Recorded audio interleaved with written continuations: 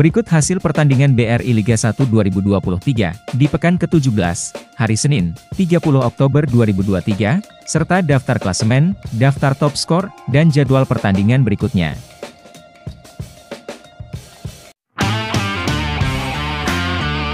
Hasil pertandingan BRI Liga 1 2023 di pekan ke-17, hari Senin, 30 Oktober 2023. Rans Nusantara FC harus puas bermain imbang 1-1 versus PSM Makassar. Gol dari Rans Nusantara dicetak oleh Abdul Rahman di menit 54, sedangkan gol dari PSM dicetak oleh Kenzo Nambu di menit 90. Bali United menang 3-0 versus Persita Tangerang, gol dicetak oleh Ilijas Pasojevic di menit 49, serta Irfan Jaya di menit 77 dan Yabes Roni di menit 93.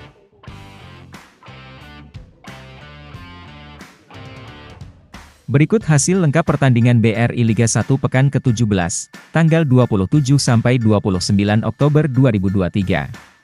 Persik Kediri menang 4-0 versus Persebaya Surabaya, sedangkan Barito Putra ditahan imbang 1-1 oleh Persikabo. Arema FC bermain imbang 1-1 versus Madura United, Persib Bandung menang 4-1 versus PSS Sleman. Selanjutnya Borneo FC menang 3-1 versus Dewa United.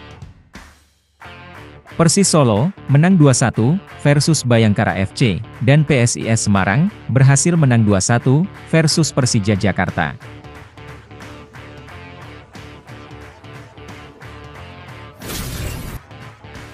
Berikut daftar klasemen sementara, Liga 1 2023-2024.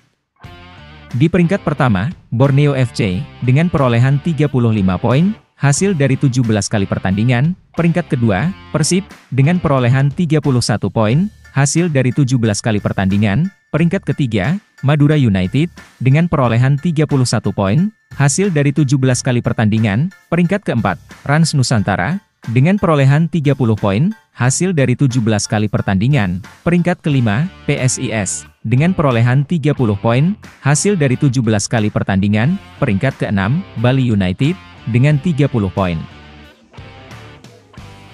Peringkat 7, Barito Putra, dengan 24 poin, peringkat 8, Dewa United, dengan 24 poin, peringkat 9, Persik Kediri, dengan 23 poin, peringkat 10, Persis Solo, dengan 23 poin, peringkat 11, Persebaya Surabaya, dengan 22 poin, peringkat 12, PSM Makassar, dengan 22 poin.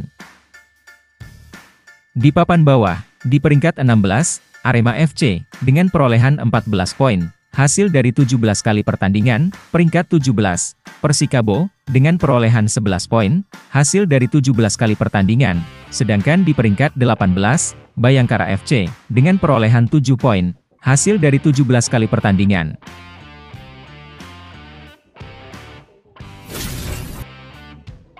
Berikut daftar top skor sementara, Liga 1 2023-2024.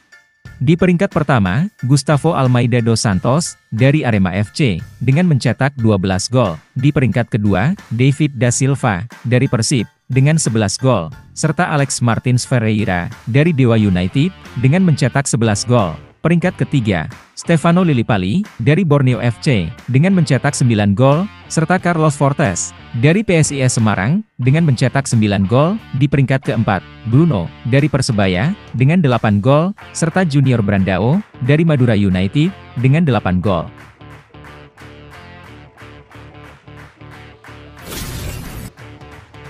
Berikut daftar top assist BRI Liga 1 2023-2024. Di peringkat pertama, Alexis Masidoro, dari Persis Solo, dengan catatan 8 assist, serta Stefano Lillipali, dari Borneo, dengan 7 assist, dan Mark Klok, dari Persib, dengan 7 assist.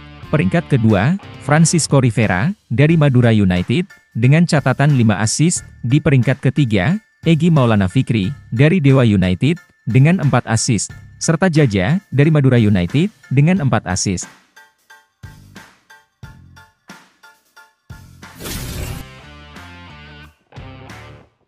Berikut jadwal pertandingan pekan ke-18, BRI Liga 1 2023, pada hari Rabu, 1 November 2023.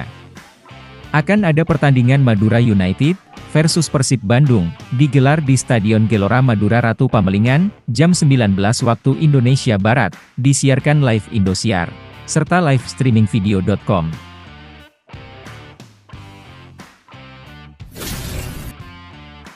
Jadwal pertandingan BRI Liga 1 pekan ke-18 berikutnya, hari Kamis, 2 November 2023.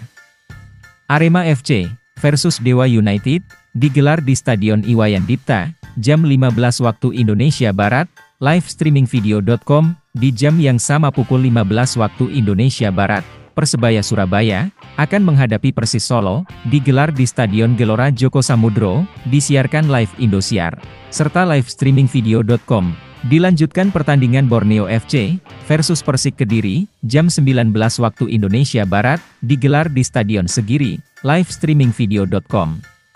Di jam yang sama, pukul 19 waktu Indonesia Barat, Bayangkara FC versus PSIS Semarang, disiarkan live Indosiar, serta live streaming video.com. Terima kasih telah menonton, nantikan update seputar BRI Liga 1 2023-2024.